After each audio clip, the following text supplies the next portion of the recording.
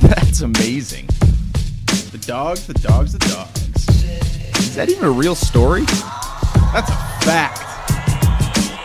This is complete nonsense, Greg. Read a book. I guess you are kind of artistic. Incredible. What are you even talking about, man? Go for broke. I don't even know what that means. Let's get it going. Let's get it going. Keep her going, baby. Hello, everybody. We are back. It's Barkology Podcast. This is Scott and my buddy Greg sitting right across from me as usual. Oh, yeah. Uh, today's going to be a little bit different than we uh, than we typically do. Uh, we have a couple firsts for uh, the day. We have our first guest. Oh, yeah. We also have our first Skype call guest. I guess is how I would refer to it. So uh, we have a, a, a very interesting guy on the call with us or on the podcast with us today. His name's Robert Forto. Um, we're super excited to have him on. He actually reached out to us. Uh, I think it was via Instagram initially. Um, but it, it's it's going to be interesting to hear his perspective on a lot of things because he lives on the complete other opposite side of the world. Basically, he lives in Alaska. Eh, It might as well be the other side. It I mean, basically is. geographically, not the other side, but Yes, so far enough away. But um, with no further ado, um, actually, a little bit further ado, uh, we'll actually do a little bit of the uh, typical Barkology podcast at the end. There's a couple updates we have to give everyone, a couple current events that Greg and I need to discuss. Uh, but now, with no further ado, uh, Robert Forto. And Robert, uh, a brief introduction for me, and then he'll be able to tell you a little bit about himself. He is a dog musher. Uh, he's been doing it for years. I mean, longer than I've almost been alive. I'm just kidding, Robert. Uh, but he's been a dog musher and trainer. He lives in the wilds of Alaska. He has a team of 40 sled dogs. He's been involved with a with dogs professionally since 1994. So I was born in 1989. So that's a long time. He probably knows dogs better than I know most people. Um, but Robert, why don't you introduce yourself and tell everybody a little bit about yourself? Hey guys, yep, my name is Robert Forto. I'm calling in today from Willow, Alaska. It is about an hour and a half north of Anchorage.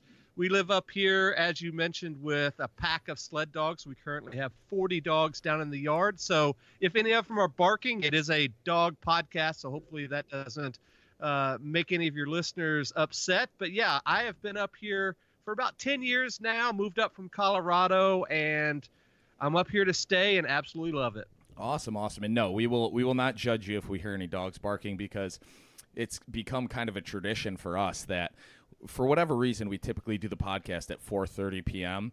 and about an hour in my dogs start getting a little bit antsy and I have to typically go feed them mid podcast. So absolutely no judgment there. But where did you uh, live in Colorado?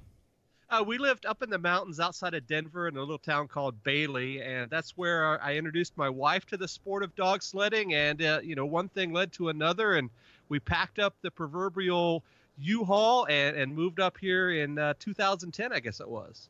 awesome. How how close to Colorado Springs is that? Uh, it's about an hour and a half west of Colorado Springs. Okay, okay. Yeah, the reason I was asking is because I have a lot of family that lives right in Denver. Um, my cousins went to Kent Denver High School. I don't know if that means anything to you, but um, I've also been up in Steamboat and worked on uh, my uncle's ranch for a little bit. So Colorado's beautiful. Um, but yeah, yeah. So tell me a little bit about the move, man. That's a, quite a hike to just pack up and go. Well, we'll jump right into a cool story. My daughter was 12 years old, and right before the 4th of July, back in 2010, uh, we decided to take a trip up here to to look around and see what was up.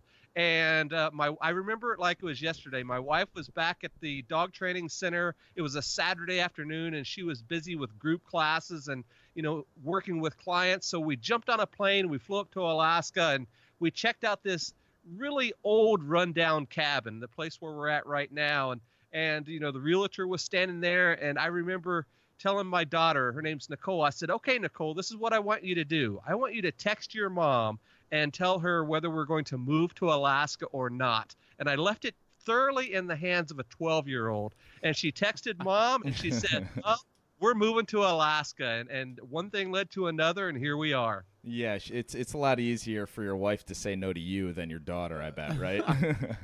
That's exactly right. That's that's an awesome story though. Good stuff. Good stuff. All right. So uh, remind me again. So how long have you been living in Alaska then? Uh, we moved up here August of 2010, so just coming on nine years now. All right, all right. So prior to doing any sort of mushing uh, or anything like that, uh, what were you doing with dogs professionally? You know, back in the '90s. Back in the '90s, I was going to Portland State there in Portland, Oregon, and I wanted to go to vet school. And I quickly realized I did not want to spend all of my time in some vet clinic, you know, wearing the the lab coat and doing all that kind of stuff. So I, I, I, was a broke college student. I didn't have any money whatsoever. So I decided to take uh, a, dog leash and, and, my puppy out to some of the parks there. And I started soliciting people for dog training. And here I was, uh, 21, 22 years old, and I was handing out business cards. And I had a smile on my face, and one thing led to another. And, and I started teaching there in the parks, and that turned into a full time career. That's awesome. It's like a true entrepreneur spirit. I love it. I love it. Oh yeah. Um, all right. Well, cool, cool, man. So you know, actually, I wanted to mention one thing before we got started here. Um, I just recently watched. You guys get Netflix out in Alaska, right? Yes, we did. I'm just kidding. I'm just kidding. um, but I was just watching a recent. Uh, there's a series called Losers, and it's a bunch of little uh, documentary shorts. But I was watching a uh, episode, and it was about a woman named Aliy Zirkle.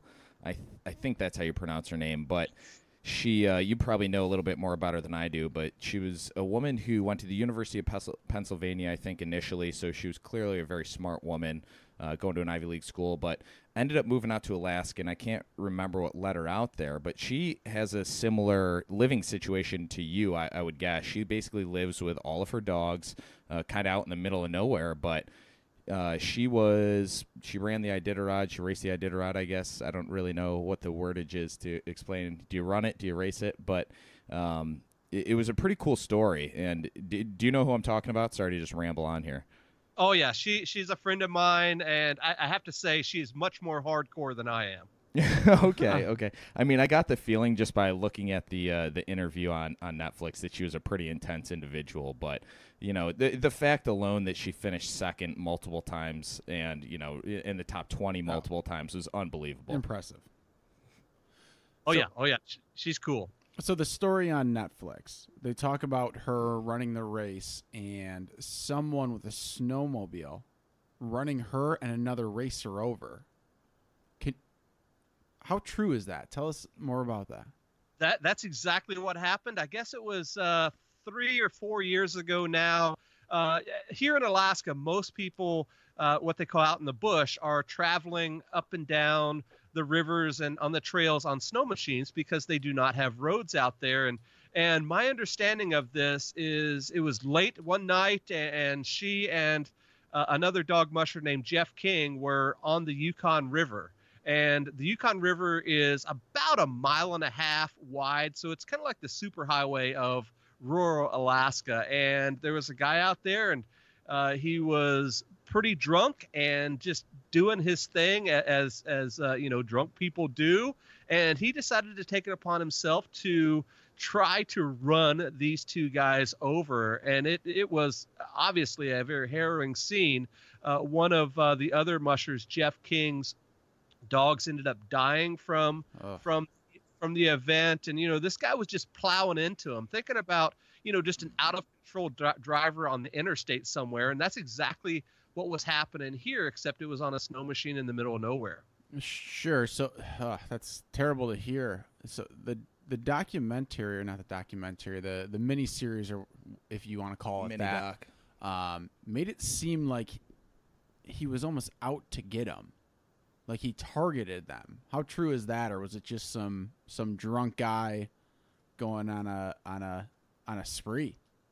I, I think it's more of the latter. Uh, you know, you know how it is when when you're have had a few too many and you get out there and you don't know exactly exactly knows what happens. And i think that's more to it than you know out there targeting dog mushers because you know this is truly the state sport and it's it's you know one of those things that that uh, is very well received in hmm. most of villages in alaska. So maybe he had a vendetta. I don't know. Uh, just a little side note is he comes from a very um, uh, dog mushing family, very dog mushing centric family. His his family has has been in, involved with the sport for many years, Huh. and you know I think he's you know kind of a, a cousin or a nephew or something of, of one of the past Iditarod mushers. But yeah, he Oh, uh, he's just out there doing his thing, and, and unfortunately, it turned into a, really bad accident. Yikes. Yeah, I mean, I'll play devil's advocate on that. It, it seems like the visibility and a lot of the stuff that's going on out there is, you know, he might not really have been able to see what was going on. I mean, who knows? Especially if you're blackout drunk, just ripping a, a snowmobile through, you know, down by the Yukon River. It's it's pretty intense. I, I got to imagine, but um, that's wild. That's wild. So, Yeah. uh, oh, you mentioned that the uh, that the state sport of Alaska is dog mushing. Right? Ah, that's interesting. That's interesting. Um, I don't know. Does New York have a state sport? I do not know. I, yeah, I don't know Should look either. that up. That's cool though. That's cool. I know uh, Greg and I both played lacrosse, and I know that lacrosse uh, is actually probably more popular in a lot of Canada than it is in some parts of the United States. So um, that's interesting to hear that dog mushing is the state sport. That's pretty cool. You know, I used to play lacrosse way back in the day, and and I, I remember uh, just going out there and just just trying to be. I, I used to have the, the the word Terminator on my helmet. I used to play deep, Oh, And- right. and I'd I'd play short stick defense, and this was back in the mid '80s when when lacrosse was really taking off. And I remember just going out there and just having a blast, just going out there, and I thought I was on a hockey rink, but you know how it is with lacrosse stick. You get out there and you can you can do some things uh, that uh, you can't do in other sports for sure. I know it gets a little bit aggressive, but that's why we love it, right, Greg? Oh yeah. Um, uh, so I, I did look up state sports in the United States, and there's only about ten states listed. New York is not one of them. Dang. I think it's I think it's universally you just kind of choose if you want to be, have a state Yes. sport. I guess. Yes. But no, the national sport of Canada is lacrosse. Excellent. Yes, One you would you would think it's hockey. Hockey, but it's not. Good to know. Good to know. Mhm. Well, cool. All right, so Robert, why don't, why don't you just break down? You know, it- just because my perception of what dog mushing is is probably a lot different than what it actually is. So do us a favor and just break down a little bit. You know, what is dog mushing? Um, maybe kind of debunk some of the possible myths that people might think living over here on the East Coast. Um, so just kind of elaborate however you will. All right. Well, dog. The sport of dog mushing got started. I don't know, hundred years or so ago, uh, when a lot of the folks in the in rural parts of not only Alaska but the world uh, would carry mail and packages and whatnot uh, from village to village using a, a dog team. And of course, in the off time, they they had to have something to do, and since they didn't have football or, or lacrosse or hockey or whatever, they decided to turn it into a sport. And mushing, uh, the sport of dog mushing, started that way. And most of the time, it was sprint mushing on the weekends. So all of these trappers and miners and and delivery guys and all that would get together their best dogs, and then they would run races. Uh, you know, and of course, uh, it was bragging rights and you know a good time to to earn a living and whatnot. So that's sort of how the sport of dog mushing got started. Okay. then- Sorry, I don't want to. I don't want to interrupt you. So, what's the difference between a sprint? I mean, I, I can break it down how I might think it is, but what's the difference between a sprint and maybe like a traditional race nowadays? That's a good question. Sprint mushing is very similar to like track and field events. So like the 400 meter or the, you know, something like that. It's it's really a, a short distance dog sled race. And if we can go into it a little further, typically sprint dog mushing is the number of dogs you have on your team and that equals the number of miles. So if you're running a four dog team, you're running a four mile race. If you're running a six dog team, six mile race, so on and so forth. Okay. Now, uh, long distance mushing is is what you talked about uh, in your in your intro there with the Netflix series Losers. That is uh, long distance mushing, and that is typically anything over 150 miles. So you have 150 mile races, 300 mile races, 500 mile races, and then up to the thousand mile races like the Iditarod and the Yukon Quest. So wow. I've got a question here for you. In the the marathons, the 150 mile races, will they use the same dogs the entire race, or will they swap out dogs? Yeah, you have to use the same dogs in, sprint mushing or in distance mushing. Uh, occasionally in sprint mushing, you can start with a pool of dogs. So let's say you come to the race and it's a multiple day race like the Fur Rondy here in uh, Anchorage, and you have a pool of maybe 20. So in distance mushing, you have to start with X number of dogs. So in the Iditarod, which is what we were talking about earlier, mm-hmm. you start out team of 14 dogs. And then along the trail, sometimes those dogs are dropped for various reasons. The dog may be injured, tired, sick, or it could be part of your strategy to drop some of these dogs along the trail mm. so you can finish with a stronger, smaller team as you're going. And that's very typical in in, in uh, dog mushing.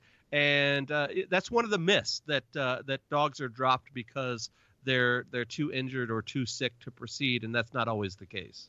Okay, so I tell me a little bit about what you need to. I mean, traditionally, what are you carrying with you? Because I've got to imagine towards the end of the race, part of the reason you can drop dogs if you choose to do so is because you're carrying less supplies and things like that. So, I mean, how how does that work really?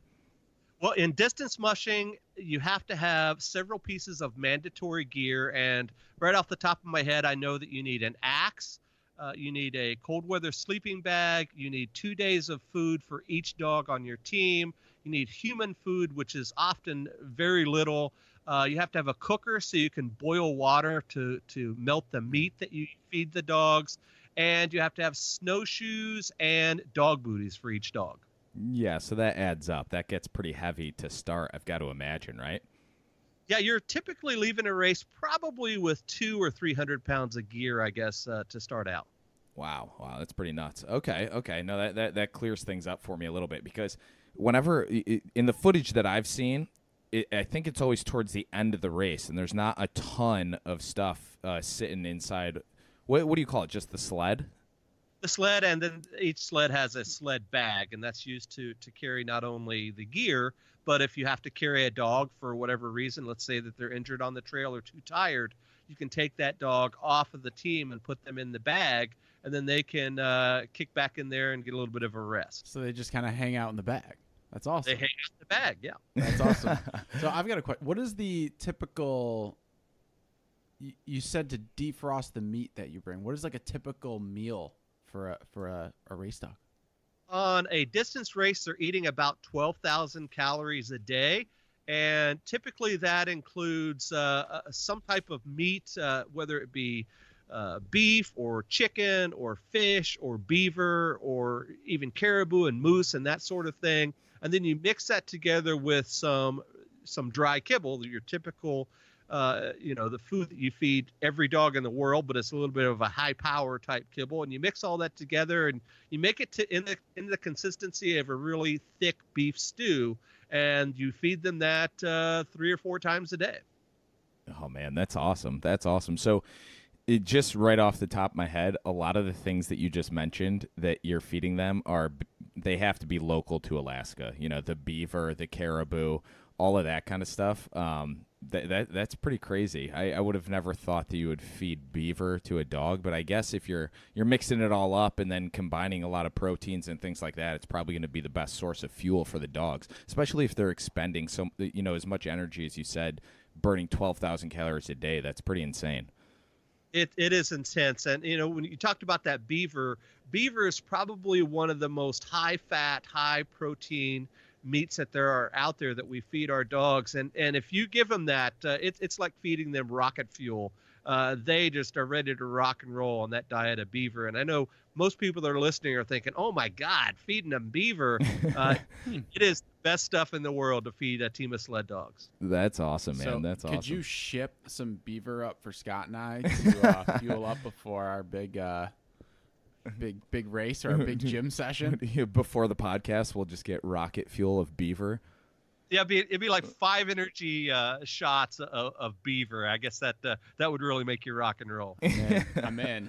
That's awesome. That's awesome, man. All right. Well, you know the one thing, and I know that you have to expect that we're going to ask this, but as far as Greg and I are, uh, the education that we have when it comes to, to mushing and dog racing, it, it's limited to basically Balto and traditional movies that are that are put up, uh, you know, mainstream movies. So Snow dogs, basically. snow That's it. dogs, and um, you, you know, th- those are that the way that those are depicted. I'm sure there's a lot of truth behind them.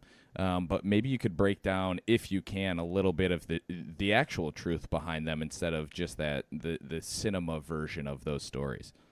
All right. So you named a few of them there. Let's start with probably the two most realistic uh, movies uh, or pop culture references to dog mushing. Probably the most realistic is a movie that came out in the early 90s. It was produced by Disney, so you know your typical Disney film that has the hero and the villain and, you know, the feel good crying moments uh, throughout the movie. It's called Iron Will.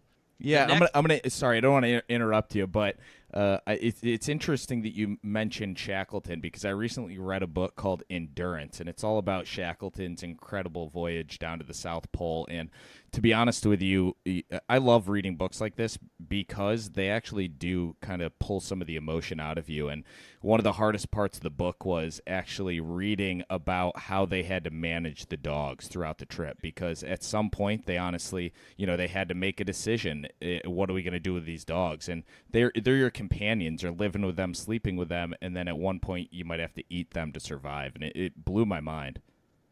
Yeah, and of course that's much different than it is today. I, I don't think that that's Yeah. happened, uh, you know, in the last hundred years or so. But yeah, that's how it was back in the day. And then of course they they tried to reference that a little bit in that movie uh, Eight Below.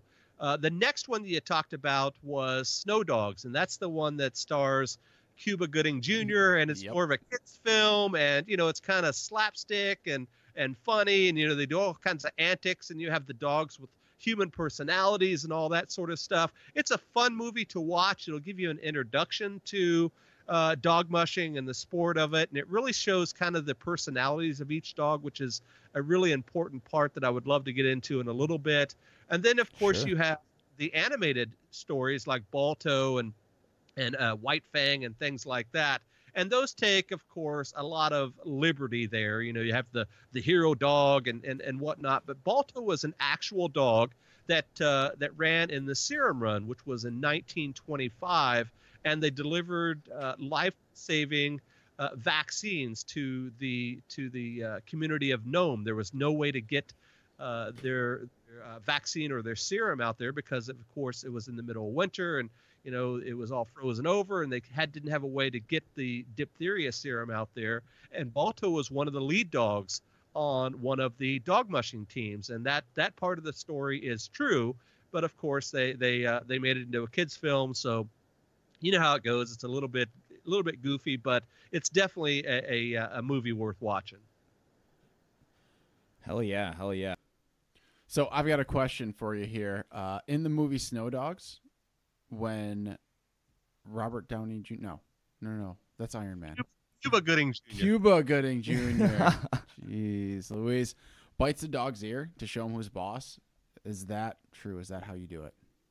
you know that that's an old school method kind of that alpha dog scenario it's not done anymore but uh, your dogs learn real quick to respect who the boss is and that may be you or it may be another dog in the kennel as they say the alpha dog rules and and i think that was just a little bit of a take on that. So I should stop biting my dog's ear.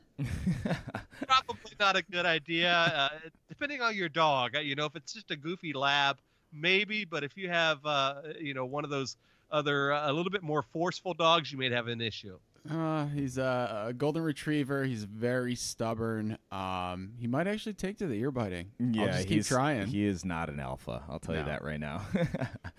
um, okay, so you, Robert, you mentioned that you wanted to elaborate a little bit on. I, I think it was the personality of of the dogs that you're that you're working with in your team. Is is that correct? Right. You know, we have a lot of visitors to our our kennel. We teach uh, people how to to uh, run dog teams all the time. I'm an adjunct here at the local university, and so we have a lot of folks coming out to our kennel. And one of the first questions everybody asks is, "Do you know all of their names?" And and I kind of look at them and think to think to give them a, a kind of a snide answer, and and it, it's very similar to if you're a, a teacher in school, and it takes a while for you to learn all the students' names if you're you know just starting out class and whatnot Yeah, yeah. But we yes we do know all of the dogs' names and um, and each one of them has their own personality and and everybody that's listening to this podcast I would assume would have a dog in their life. So as we know, every dog that we have has their own personality and their own makeup and their own temperament. And in dog mushing, that uh, comes into play in a, in a wide variety of, of ways. Typically, uh, the stronger temperamented dogs are are the ones that are are most willing to work for you. They're the ones that are, are easiest to train to be leaders. And then you have your followers in the pack, and and you know there's nothing wrong with that at all. The shy dogs or or the ones that are a little bit aloof may not make lead dogs, but they will definitely make a, a very good team dog. No, And if you, we- you just described Scott to a T. hey, I- Yeah. I, fit right in though. I mean, they, I'm important to some degree. Slip That's him all in that the matters. back, and I'll just- in the back and and let them go. And if we could, guys, maybe I can describe what the makeup of a team is. And a, a team is, is made up first off. The dogs in the very front of a dog team are called the lead dogs, and those are the dogs that are truly driving the team, and they're listening to the the person, the the dog musher in the back. So if you think about it in a football reference, those are your quarterbacks. Those are the Tom Brady's of, of the dog mushing world, and they're taking direction from the Bill Belichick's of the world, uh, dog musher in the back. So oh, you're tell- okay. so, So we, you're we just- hate we hate the Patriots. by the way. well, but I was gonna say you just gave yourself a compliment uh, because you're you're considering yourself Bel- Bill Belichick as one of the winningest coach in all of the NFL, right? Well, right. Well, I, I know I, I know you guys are in upstate New York, and, and I didn't know the uh, the coach of the of the Bills, so I can't really give a Bills reference, or, or maybe like Jets, I don't know. that's okay. Uh, So how so when you're training dogs, how do you how do you pick out the lead dog? typically they pick themselves and as i mentioned they're typically the ones that are uh, the strongest temperament or strongest personality. They're the ones that that uh, really have that mentality to do what they need to do on their own. And you'll see very quickly if you put a dog up in lead that's not quite ready they won't keep the line tight. They'll keep turning back. They'll keep looking back to to see what direction they need. It, it's it's really like it's really like an analogy of football. Those are the guys that can go out there and take charge. And then, if we could, uh, the dogs, as you're working your way back, the next couple of dogs are called swing dogs. Those are the ones that are kind of swinging the team in one direction or another. So when you tell the lead dogs, gee or haw, left or right, uh, they're they're taking the command, and then the next two dogs are sort of swinging the team. The next group of dogs are the team dogs. Those are kind of like you know the offensive tackles or the tight ends of the group and then the wheel dogs which are the dogs closest to the sled and those are the typically the big brute dogs. Those are the offensive linemen the dumb jocks of the of the dog sledding world. They're there just there to pull their weight and just kind of you know if you're you're thinking about football they're the ones that are out there blocking and in the trenches and and doing their thing. And then of course you have the sled and then the the human part of the team which is called a dog musher here in Alaska, there's 2,000 mile races. The Iditarod, which goes from Anchorage to Nome, and it's almost all off of the road system. So there's not a way to follow it unless you're involved with the race or kind of hop, skip, and, and jump over uh, from checkpoint to checkpoint. So that is a way to follow it along if you're a fan. okay. The other thousand mile race is called the Yukon Quest, and it either starts in Fairbanks here in Alaska or Whitehorse down in the Yukon, and then they switch every year, and it's also a, a thousand miler. But then there's all sorts of shorter races all around the country. Uh, there's 300 milers in Minnesota and Montana and Colorado and, and Oregon. There, excuse me. There's a 400 mile race in Minnesota, and there's even races up in your neck of the woods. They have the Can Am 250, which is up in Maine, and Oh, wow. believe it they had a uh, dog mushing exposition or sort of a, a check it out type sport in the 1930s, which was right down from where you guys are right now at uh, Lake Placid. They did some dog sledding events in the Olympics. No way. You're definitely gonna have to let us know when they uh, the next one they do in Placid. We'll definitely be there. Well, you know they've they've never done it again, and that was sort of at the height of uh, mushing hysteria. That's when everybody really found out about it here in the states, and it was right after that serum run, which I talked about, where they delivered Mhm. that that vaccine to Hmm. Nome. It was height of the popularity, and and they tried it there in the Olympics, and it has not been done since. And that was in 1932, I think. I would love to see it in the Olympics again, especially in that sprint format that we talked about. I think it would be an awesome event to add to the Winter Olympics, and I think Lake Placid would would be a great place to hold it. Oh yeah, absolutely. That that'd be cool. And uh, the one thing I wanted to mention is Greg and I uh, typically and, and have played for a new number of years. Played in a lacrosse tournament up in Lake Placid. A lot of fun. But uh, uh, regarding mushing and racing up there, it's so mountainous and hilly that it seems like it wouldn't be the best place to do that. For whatever reason, I picture it needs to be a little bit more flat. Is that not the case I'm gonna guess you run on the rivers. when they're Uh, are you- frozen? Are you talking about up here or down there? Oh, at Lake, at Lake Placid, just because it's in the Adirondacks, there's a lot of you know four thousand foot peaks. N- not huge, but at the same time, there's not a lot of flat ground. Right. You know, they currently do a race down in um, uh, uh, Utah, Montana, excuse me, Utah, Wyoming, and a little bit of Montana called the Pedigree Stage Stop. And each day they go from one town to another. So they may go for 20 or 30 miles or so. And each day they're, they're, they're kind of stopping and going again. I think that would be a cool way to do it up in your area where you know you have really concentrated areas of population whereas up here you know you may have a hundred miles between villages or maybe even further Yeah, that's that's wild. That's, awesome. wild. So I know that you, you just broke down a little bit of the the Balto, the Iron Will, Eight Below, the Snow Dog stories, but you have to have some stories yourself about your dogs. I mean, living with forty dogs, I can barely live with one fiance and two dogs. So tell me a little bit about that. See, the the, the key part of that was one fiance. Two Uh, dogs yeah. is easy. It should one, be. one fiance is the, the the difficult part. you know I, I, get told that often from my wife. She says you're spending more time with the dogs than you do with me. And you know she she's my right hand man so to speak. She she also uh, runs sled dogs and she's sort of the main handler of the group. She's the one that's you know doing all the care for him at the races while i'm gone and all that. So so she she's a big part of this. But yeah living with a team of sled dogs is truly like living with 30 or 40 three year olds just toddlers running around.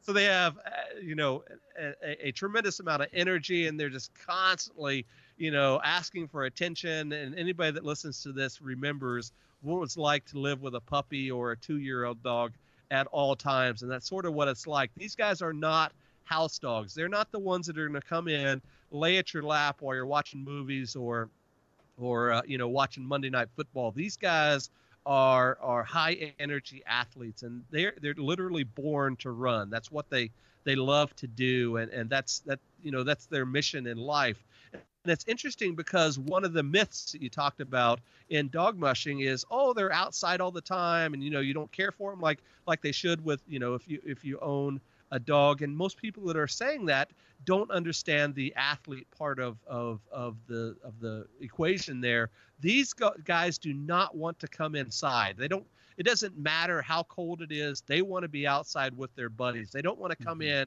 and hang out with with the humans of the pack. They want to be out there with their buddies and that's that's uh, an important part of this that, w- that we should definitely mention for sure but a story or two Well, Man, here, let me. I, I keep keep going. I love the stories. The one thing I want to interject with is that it makes sense. You know, it, you want to build that camaraderie with your dog counterparts. You know, it, even though we're humans, they're dogs, and you said it's like living with a bunch of three year olds. Even at three, you know, you want to continue to build the, the friendships, the camaraderie, the teamwork, all that kind of stuff. So it makes sense to me.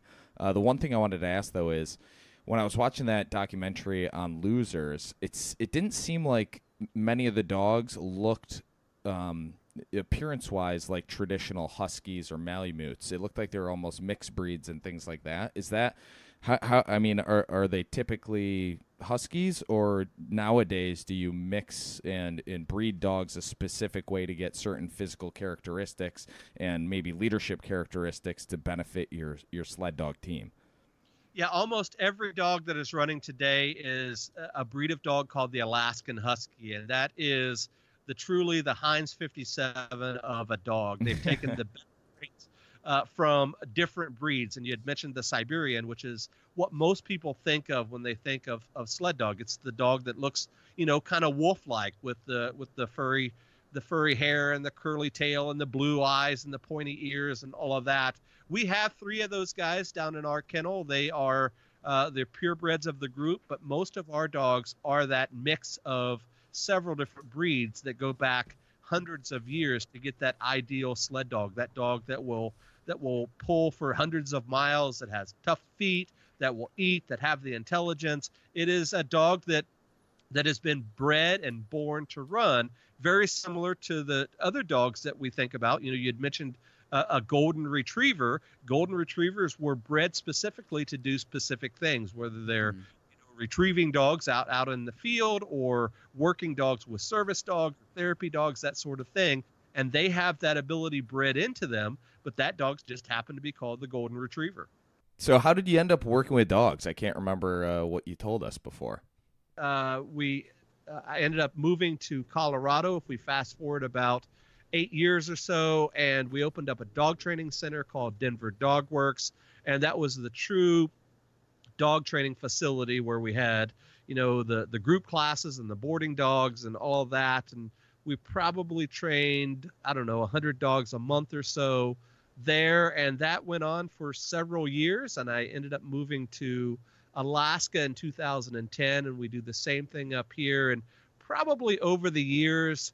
Uh, my wife and I have trained maybe a thousand, two thousand dogs over our career in every wow every um, every breed, every behavior problem, every household experience uh, we've probably dealt with on on one time or another, and and we hope we're pretty good at it. Uh, we get clients all over the country that are asking for dog training services or therapy dogs or service dogs or protection dogs or whatever. Uh, we we try to do our best to to train them.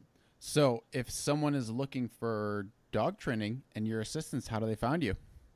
Well, they can definitely hear it about it on our podcast, Dogworks Radio, dogworksradio.com, or they can check out our website, Alaska Dogworks, uh, alaskadogworks.com, or anywhere on social media, just putting that in the search bar.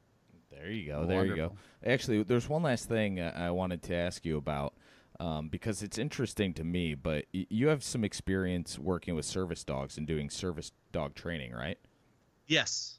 So tell me a little bit about that because the one thing that comes to mind for me, and I don't know if our listeners know this yet, but I, I work to some degree within the pharmaceutical industry, but I, I ran into an office where it seems like people can almost get that service dog licensing um, just to maybe have their dog in their office in their in their in their workplace for for a certain amount of time or things like that. And that's that's to, that's the education that I have about that. So tell me a little bit about how your training and how how you do that with these dogs you know that's that's a great point. Unfortunately today anybody can say their dog is a service dog. You can even buy uh, quote unquote certifications on the internet for you know 20 or 30 bucks and they'll send you a patch or or a cape or, or a vest or whatever you want and you can right. literally take your dog into work with you. But you know it, it's it's like we tell all of our clients you can have a dog that that is well trained that you can take uh, you know and and help you with whatever condition that you have or you can fake it till you make it. And a lot of times it just doesn't work that way. The way that we do it here, we are the professionals of of the service dog world. It would be very similar to, you know, if, if you have a, a, leaky roof, you can definitely get on a ladder and, and go up on the roof and fix it yourself, or you can hire a pro to do it for you. And that's what we do. And our uh, service dog training is a two year process. Uh, wow. We typically start with, with puppies and work with the clients over a two year period. And we involve the clients in the entire training process, and we train service dogs for a, a variety of things. We have uh, service dogs for mobility, for conditions like cerebral palsy or folks that are in wheelchairs. We train autistic service dogs, typically for kids uh, that are, uh, uh condi- uh, you know, autistic or have that condition. Uh, we work with dogs with PTSD, typically for soldiers. we'll work with with dogs in, in that training scenario and in, in different areas for different types of folks. And and as we said, we, we do our best to train them to provide uh, therapy and services for them for for the for the for the working life of the dog, and that's typically eight or ten years. And you know we, we try to stand behind that. That's awesome. So I have a, a question for you. So some dogs can detect seizures in patients with epilepsy. Can you train a dog to detect that? you know that's that's a great question and the way that we uh, ha- train our dogs here is we try to uh, not train dogs that are going to be life-saving mechanisms because we, we don't want to put our name behind something that may or may not happen and when you're thinking about okay well i want you to train my dog for my daughter that has seizures what happens that time where the dog doesn't do its job and and you know mm-hmm. how dogs are dogs can be aloof and if you know if you're if you're entrusting them to be lifesavers that's something really serious mm-hmm. and i know there are companies out there that do train dogs for seizure alert or diabetic alert dogs and that sort of thing and that's a specialty that we don't want to step into because i just i just can't put our name on something that that uh, may or may not happen for one reason or another. Yeah, no, I completely understand. That makes sense. I mean, dogs have their days too. They're off days. Right. And you don't want to, you know, put your name on something that y- y- you never know. You never know with a dog. They're just like people, right? We have our exactly. bad days. They have their bad days too. So. Yeah, get the pointer, uh, get the finger, uh, the finger the, pointed. You can do it. The finger pointed at the wrong person. You know, like you said, you, you never know. And if if the dog's just not having it that day, a family, although they put the trust in you as a trainer and the dog, at some point they're going to blame you, and I understand why you wouldn't do that. Mm-hmm. Um, okay, so anything else you want to really talk about? I know uh, we've covered a lot. You're a wealth of knowledge, and we appreciate you coming on and talking to us. But is there anything else you want to talk about in, in respect to either mushing or living in Alaska or anything else that's you know imperative or maybe people should know? You know, I could probably sit on here and talk to you guys all day. I love what you're doing with your podcast. I love finding new podcasts that are dog centric. I don't think there's enough of us out there. You know, we grind away every week on our podcast to try to to promote uh, dogs and our relationship with them on our show, and I know that you guys are doing the same. And it's just it's just a great example of of all the stories that are out there about dogs. And i think that that's so cool. You know and podcasting is interesting because you're you're literally talking to a computer screen most of the time whether you're have a co-host or not. You don't really know who your listeners are. And i think podcasting is a very cool medium to reach the masses in a way that's so much different than the different types of media. And we talked about mushing and you know sort of pop culture references in movies and tv and whatnot but i think podcasting is the new medium to reach that audience. And I think you guys are doing a great job with that.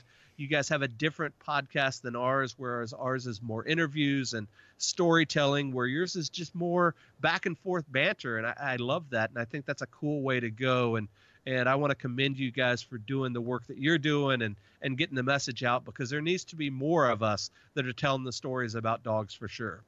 I love that, man. I love that. You said it very well. You're very well spoken. We appreciate you coming on. Um, we like definitely want to have you on again at some point. Absolutely, and I, I completely agree with everything you said. Um, moving forward, I think what Greg and I are going to do is try to start a, a, dog sled team in upstate New York and Rochester uh, during the months of November to February. We'll try to figure it out. I don't think our uh, golden retrievers and Labrador retrievers will will pair very well, but we're probably going to try. They'll do good enough it would be good enough. And like I said, I, I, bet if you look hard enough, there is a bunch of mushing events in your area. I know that uh, uh, New Hampshire, which is right down the road from you guys. It's, everywhere is right down the road from you because literally we have to drive an hour to the grocery store. So driving over to New Hampshire from from Rochester is, is, is like an afternoon drive to us. But uh, there are there are mushing events all over the place in your area. I know that there's there's our, there are sled dog clubs. There everything that's happening there. There's all sorts of dog sports up in your area, whether it be dog mushing or dock diving or you know scent trials or whatever. I think you guys can have topics galore for your podcast. That's awesome. That just gave me a couple great ideas because the dock diving is is huge, especially with the Finger Lakes over here in upstate New York. You you have so many dogs that honestly, my fiance's puppy uh, before we started uh, dating, he didn't even know how to swim really. You know, and and realistically, these dogs are, are bred to swim. So the dock diving's amazing, and then the scent the scent side of things, which I think you're mentioning, is is more about the hunting. So upstate New York is pretty much primarily Mm. woods. So people are Yeah, hunting all over a lot the of place. lot of lakes and a lot of woods. Yes, but um, Robert, I appreciate you coming on. You're the man. Um, we'd love to have you on again at any point. Uh, you know, even if it's a couple weeks from now. But I appreciate the feedback. Uh, you're doing a great job with your podcast. So tell everybody where they can get more education about mushing, or follow you, or however uh, you want to relay that information to them. All right, you can definitely check out our podcast anywhere you listen to podcasts, whether it be Apple or Stitcher or Spotify or whatever.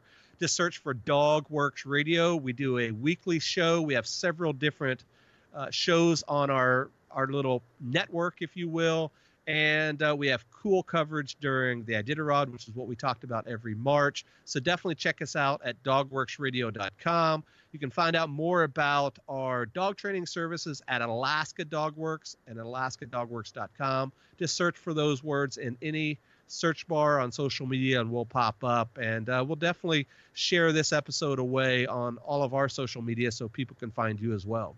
Uh, you're the man. We appreciate you. Um, we're on the other side of the country, but we're very similar, and I can't wait to do this again. I appreciate everything. So let's wrap it up, Greg. We usually wrap up our episode by saying wag more. Bark less. And don't forget to follow us everywhere that you listen to podcasts at Barkology Podcasts. Uh, Barkology Podcasts on Instagram, Facebook, Twitter is Barkology Pod. And don't forget to check out the WAG swag at barkology.itemorder.com. We out.